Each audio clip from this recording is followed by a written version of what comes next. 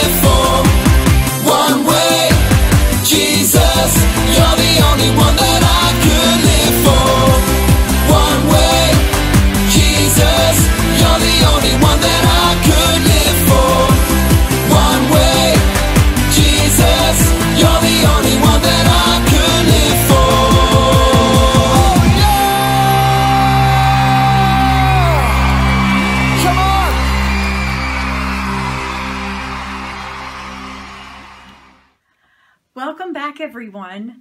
I hope you are finding in our study, Life is a Highway, that as you travel along the road and you see these signs that we have been talking about week after week, that indeed they are bringing to your mind the biblical truths that we've been talking about.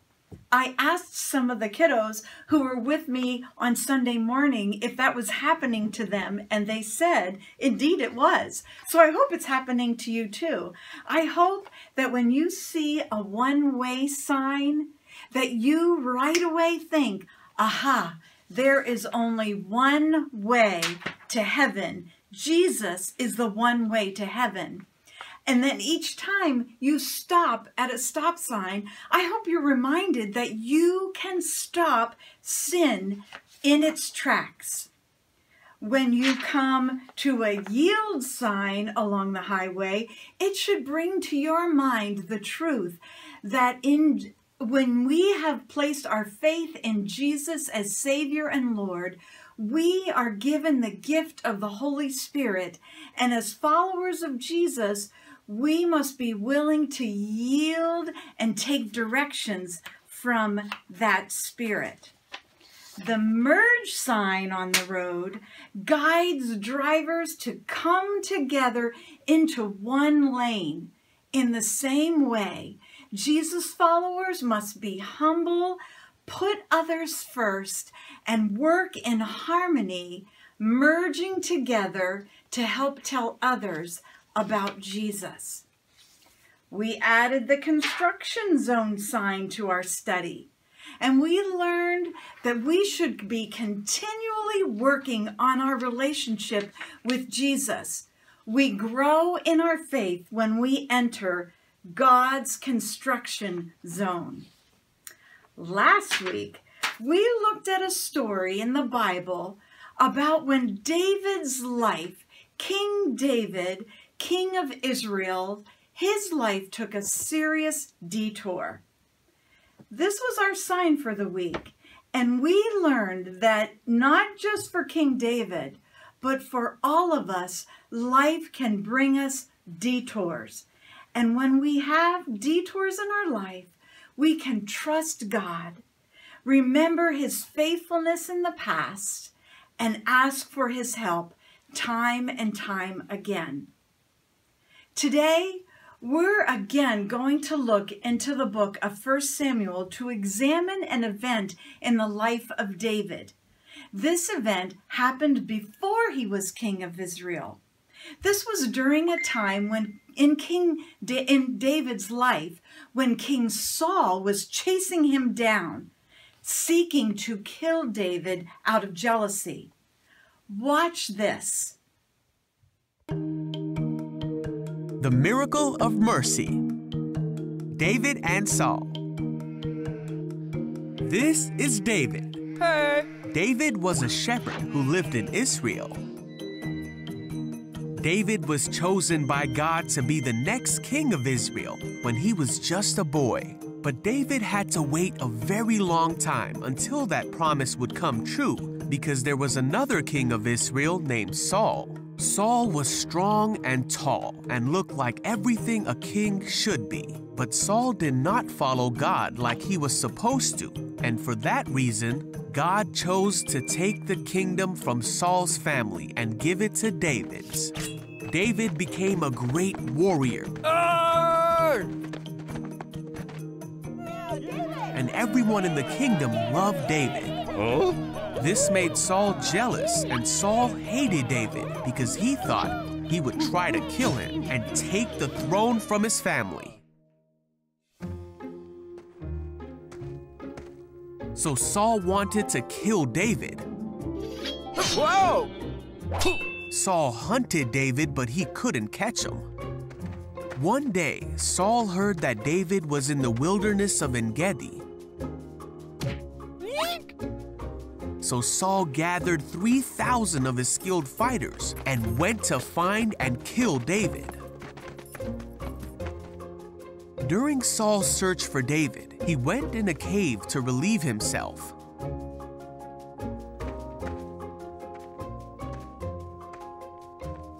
Well, this very cave was the one where David and his men were hiding.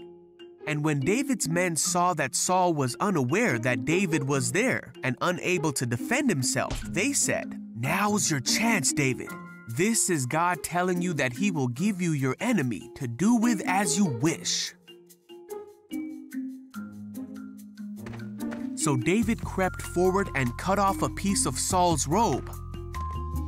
But then David began to think that it was not right for him to take Saul's life. For no matter how much hardship and difficulty Saul had caused him, it was still not right for him to hurt the one who God had placed over Israel.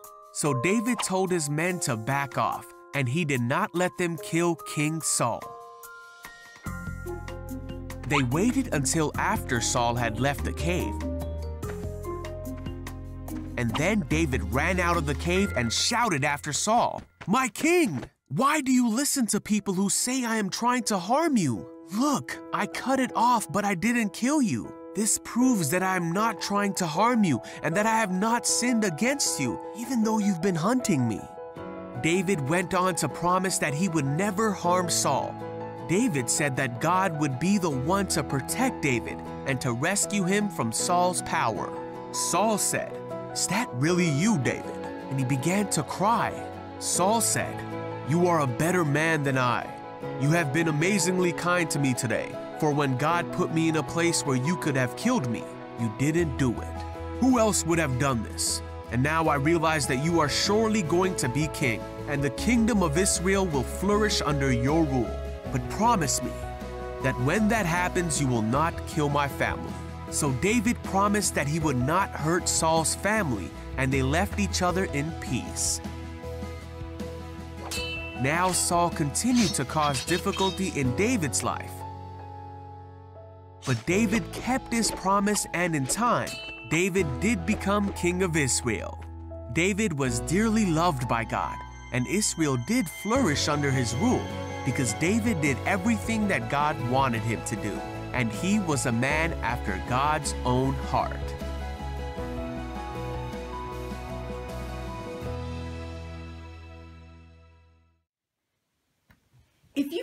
Realized already, you will.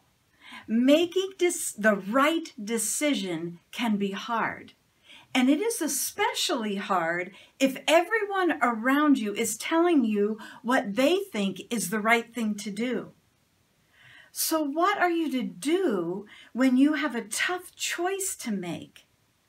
I'm going to suggest that you ask yourself four questions. First, what does the Bible say about this? If we ask around, we may have people making all kinds of suggestions about what is right and what is wrong. But God in His Word will never get it wrong. When you don't know which way to go, the first thing you need to do is check out what the Bible says. The second question to ask yourself is Have I prayed about this? Sometimes the Bible doesn't specifically give us an answer to the decision we need to make. So when the Bible doesn't give you a specific direction, you should pray. Ask God to help you with that decision. The third question to ask yourself what do wise people have to say about it? Once you have looked at your Bible you've been praying about this decision, then go to the wise people that God has put in your life your pastor, your parents, your Sunday school teachers. God has put these people in your life to help you. And finally, the fourth question Do I have a peace about this decision? Once you are ready to make your decision, again, if you have checked your Bible, you have been praying about it faithfully, and you have asked the wise people in your life about it, then you should have a peace about the, your next step. You should be able to have a strong sense of God's direction in your decision. As a Jesus follower, God's Spirit will guide your spirit. So back to the story of David. There he was with an opportunity to make his life easier. He had King Saul right where he could take him out for good. It looked like the perfect opportunity. But David turned to his men and said, The Lord forbid it that I would do such a thing. He, meaning Saul, is the anointed of God. I will not lift my hand against him. David knew that if he had followed his way instead of God's way, he would have ended up becoming king at the wrong time for the wrong reasons. Our sign for today, the wrong way sign. Like David, we want to trust God and follow God's way instead of our way and other people's way. We want to make sure we're going the right way, not the wrong way. Let me pray with you. Dear Heavenly Father, our great God and King, the one who knows all things, the one who is all wise, we come to you and we acknowledge we know there are lots of decisions to make. And that means we have lots of choices, and we on our own can't get it right every time. And so we put our trust in you. We ask for your help in leading us in the right way every time, Lord. And we'll give you the glory in Jesus' name. Amen.